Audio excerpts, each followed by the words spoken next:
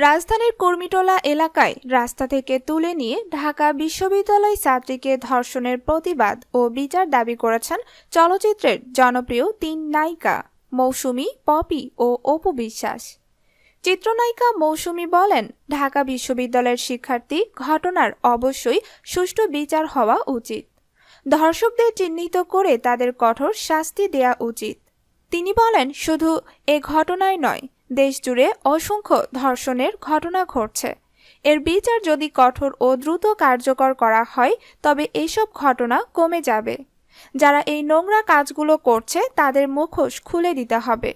কোনোভাবেই তাদের ছাড় দেওয়া উচিত না। আমি এর সুষ্ঠু বিচার চাই। আরেক নায়িকা পপি বলেন, এভাবে আর কত? ধর্ষকরা ছাড় পায় বলে দেশে বারবার এমন ঘৃণিত কাজটি হচ্ছে। অপরাধীরাও সাহস পাচ্ছে। যে কোনো সময় যে কোনো মেয়ে এমন ঘটনার শিকার হতে পারে।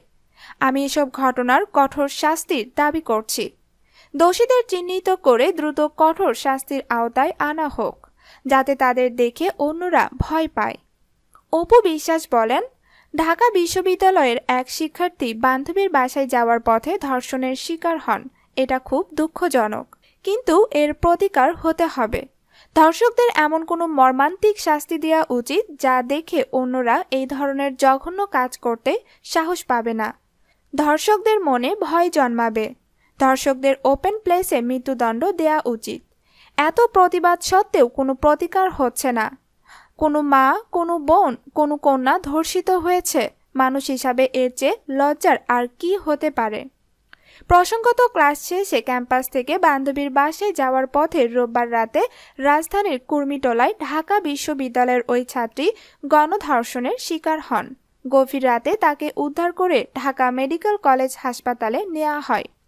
তিনি বর্তমানে হাসপাতালের ওয়ান স্টপ ক্রাইসিস সেন্টারে চিকিৎসাধীন। এরপর সোমবার সকালে কুর্মিটোলা গলফ ক্লাবে যাওয়ার পথে একটি ঝোপের মধ্যে থেকে ভিকটিমের বই, ঘড়ি, ইনহেলার ও চাবি রিং সহ বেশ কিছু আলামত পাওয়া যায়। ডাক্তারি পরীক্ষায় ধর্ষণের আলামত পাওয়া গেছে বলে জানিয়েছেন ঢাকা মেডিকেল কলেজ হাসপাতালের ফরেন্সিক বিভাগের প্রধান ডক্টর ডক্টর সোহেল মাহমুদ।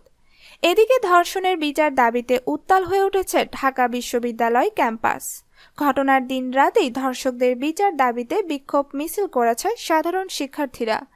সোমবার সকাল থেকে রাত পর্যন্ত ছাত্রলীগ, ছাত্রদল ও বাংলাদেশ সাধারণ ছাত্র অধিকার সংরক্ষণ পরিষদ বিক্ষোভ করেছে। জানা গেছে, রাজধানীর কর্মীটোলায় বান্ধবীর বাসায় যেতে বিকেল সাড়ে পাঁচটার দিকে ঢাকা বিশ্ববিদ্যালয়ের বাসে ওঠেন ওই ছাত্রী। বাস থেকে কর্মীটোলা এলাকায় নামার পর অজ্ঞাত পরিচয়ে কয়েকজন তার মুখ চেপে ধরে। এতে তিনি অচেতন হয়ে পড়েন। এরপর তাকে ওপর্যপরি ধর্ষণ করা হয়। রাত দশটার দিকে চেতনা ফেরার পর তিনি সিএনজি চালিত অটোরিকশা নিয়ে বান্ধবীর বাসায় যান। বান্ধবীকে ঘটনা জানান। এরপর সহপাঠীরা তাকে আবাসিক হলে নিয়ে আসেন। পরে তাকে ঢাকা মেডিকেলে নেওয়া হয়।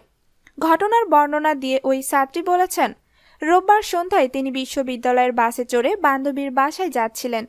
উদ্দেশ্য একসঙ্গে পরীক্ষার প্রস্তুতি নেবেন। সন্ধ্যা সাতটার দিকে তিনি কুর্মিটোলা এলাকায় বাস থেকে নামেন। সেখান থেকে অজ্ঞাত কয়েক ব্যক্তি তার মুখ চেপে ধরে পাশের একটি নির্জন স্থানে নিয়ে যায়। এরপর তিনি জ্ঞান হারিয়ে ফেলেন। নির্যাতনের এক পর্যায়ে জ্ঞান ফিরে পান ওই ছাত্রী। পরে পাশবিক নির্যাতনে আবারও জ্ঞান হারান। রাত দশটার দিকে জ্ঞান ফেরে ওই ছাত্রীর। তিনি তার বান্ধবীর সঙ্গে যোগাযোগ করে ক্যাম্পাসে যান।